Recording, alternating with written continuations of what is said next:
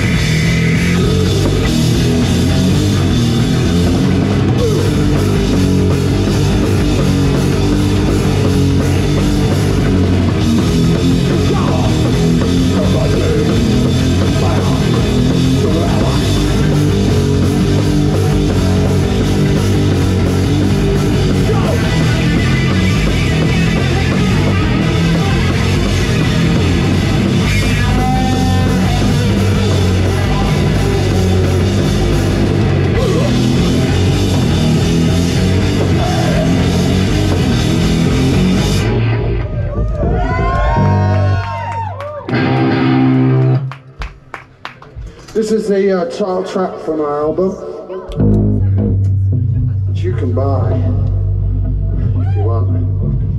It's called Beyond Life.